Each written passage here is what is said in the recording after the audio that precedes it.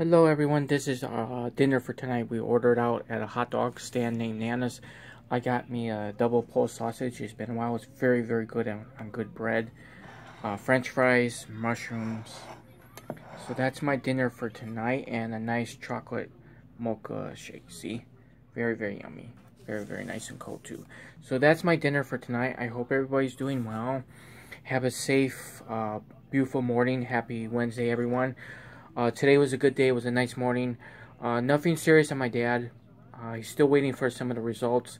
Same with mom. Hopefully nothing more serious on everything they got checkups on on the doctors and everything. Now the uh, other thing I won't mention, the other scan. Uh, something went wrong. He had to reschedule it. He has to wait six months. It's where they go inside and to make sure everything's okay. I have to leave it as that. So hopefully nothing serious for my mom and dad. And I want to say thank you to everybody Thank you uh, to lovely Emie Australia for your blessings. Thank you to all your family for your blessings.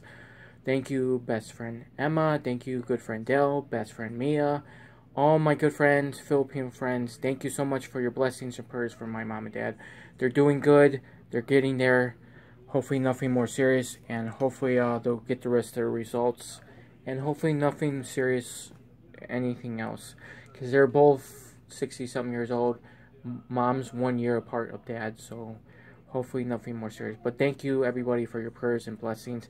And thank you for the happy birthday wishes in advance. All set for tomorrow. I'll be enjoying time with mom and dad. And most likely my brother and his wife, if they're not busy, come over to enjoy time. But have a great morning, everyone. Today was a good day overall. Uh, black and white kitty cat's fine. I spent time with it all this morning.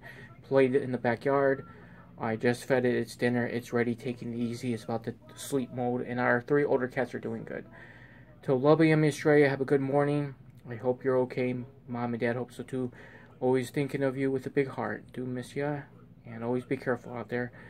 And same with all my family and Filipino friends. Take care, everyone, and that's my dinner for tonight.